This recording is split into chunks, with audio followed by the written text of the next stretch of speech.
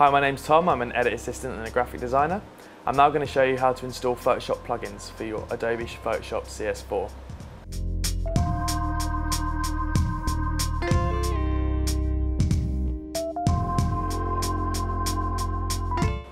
As we can see here, I've already downloaded the Photoshop plugin. It's called the Hue and Cry. You can find most Photoshop plugins on the net. If you just Google search, you'll find some pretty cool effects you can then install into Photoshop. So what we're going to do is install that into the plugins folder. To find your plugins folder, you need to go to your applications, find the correct software which you're using, in this case it's Photoshop, and then select the plugins folder. Now as you can see there, there's already a list of plugins which come pre-installed with the software.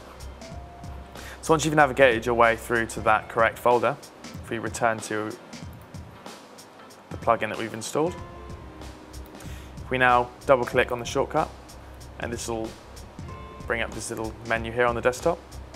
If we now double click on the icon here on the desktop, it's going to give us this folder. And it's pretty much exactly what it says on the tin. All we need to do now is select the window with our plugins and then just literally click and drag them into the correct folder. Should take a second and that should just copy and paste straight in. As you can see there's a hue and cry folder there. So now I'm going to load an image into Photoshop. So I'm just going to right click on this image here that I've just found. Open with Adobe Photoshop CS4. We can now see, if we go to Filter, Flaming Pear with the company that made the plugin, and it's Hue and Cry, which was the plugin that I had downloaded previously. And there we go, there's the settings. And that's how you install plugins for Adobe Photoshop.